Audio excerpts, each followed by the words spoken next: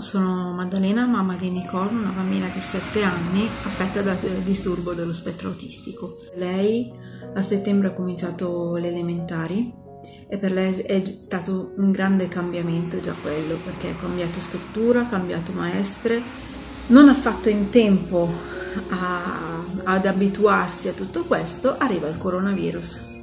Quindi altro cambiamento si è ritrovata ad essere rinchiusa in casa, non poter più vedere i suoi amici, non vedere più le, le sue maestre. Una piccola fortuna noi l'abbiamo avuta nel mantenere l'insegnante di sostegno che aveva uh, all'asilo. Quindi que- quello è stato, un, è stato un, un, punto molto importante per, per, quanto riguarda la routine della bambina.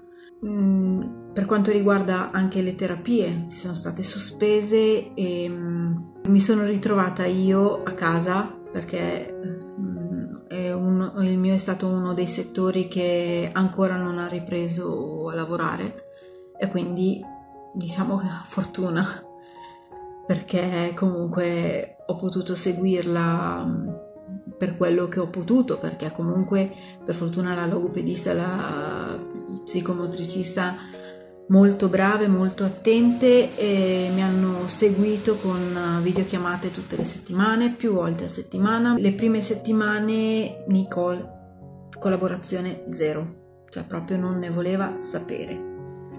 Piano piano siamo riuscite, lei le videochiamate non vuole, cioè lei il telefono lo, lo vuole per guardare i suoi cartoni, i suoi video ma non vuole vedere qualcuno interagire al di là dello schermo. Io ho mia mamma che vive in Puglia, ogni tanto facciamo delle videochiamate e lei scappa. Ho avuto anche una, fase di, chiamiamola depressione, perché non, non sapevo come...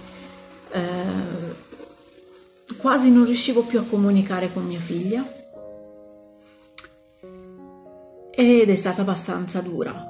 Eh, però va meglio. Nicola adesso almeno parla quando vuole mangiare qualcosa, ma di fare i compiti, niente. Non, quello è un punto proprio eh, dove dobbiamo ancora lavorare parecchio. Il suo papà è, lavora nell'ambito alimentare, quindi lui non si è mai fermato.